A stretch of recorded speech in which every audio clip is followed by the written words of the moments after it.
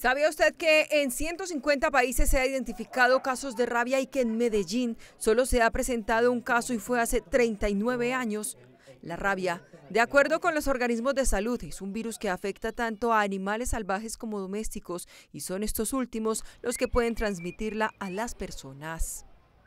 Eso es una enfermedad que puede pasar de los animales al hombre a través de la mordedura o los arañazos el contacto con saliva o secreciones de animales infectados. Nuestros gatos, por ejemplo, se pueden infectar al intentar cazar murciélagos que estén infectados con este virus y luego transmiten la infección al hombre.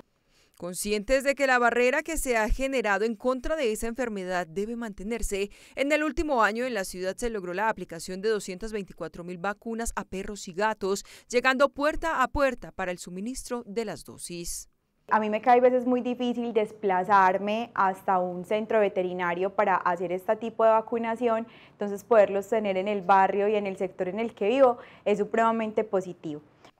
Con este tipo de apuestas, el distrito garantiza tanto el tratamiento como la vacuna para evitar que se registre uno de estos casos que pueda poner en riesgo la salud de las personas, pero depende también de la responsabilidad y la voluntad de las personas para reforzar la protección con una vacuna cada año para sus animales de compañía.